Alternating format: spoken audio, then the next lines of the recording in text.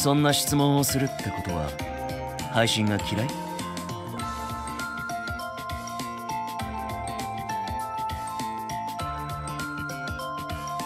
配信に縁がない。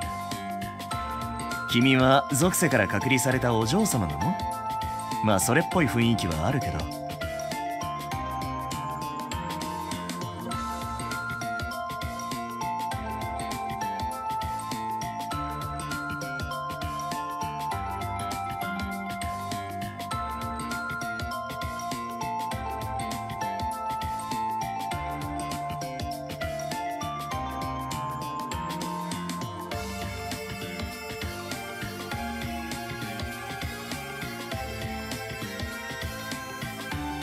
配信はね面白いか面白くないかと問われたら不思議なものって答えるかな。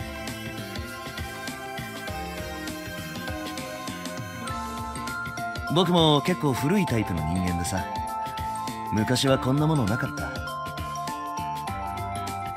僕の配信をたくさんの人が見てくれてるらしいけどそれはみんな本物なのかな。ごめ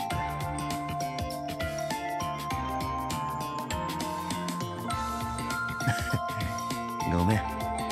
こんなことを君に言っても意味わからないよね。あ。お湯が沸いたから畳の方へどうぞ。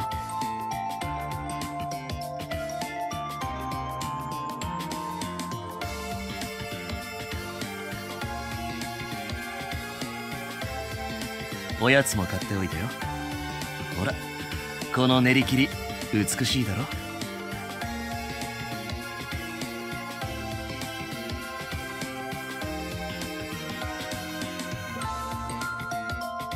そうそう。裏通りに美味しい和菓子のお店があるんだよ。もう今にも潰れそうなんだけどすっごく腕がいい。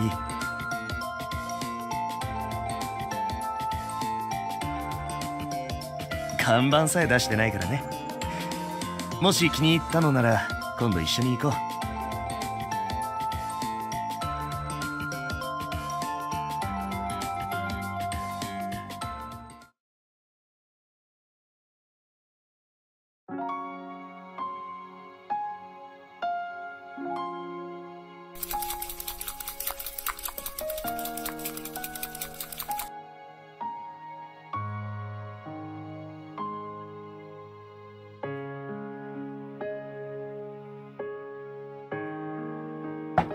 はい。どうぞ。作法なんて気にしないで普通に飲んで。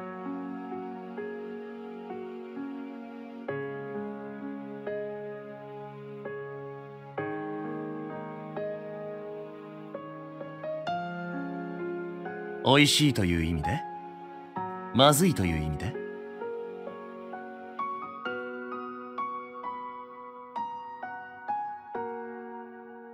美味しく立てるコツがあるんだよ。教えてほしい？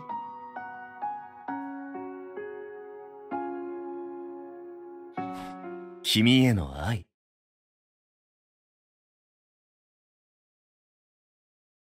そんな全力で弾かなくても。そこはもうジャックったらーっとはしゃぐところじゃない？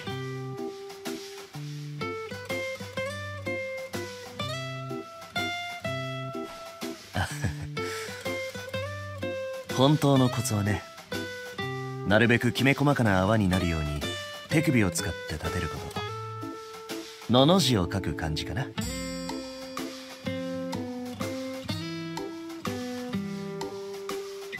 気に入ってくれたのなら僕がいつでも立ててあげるよ。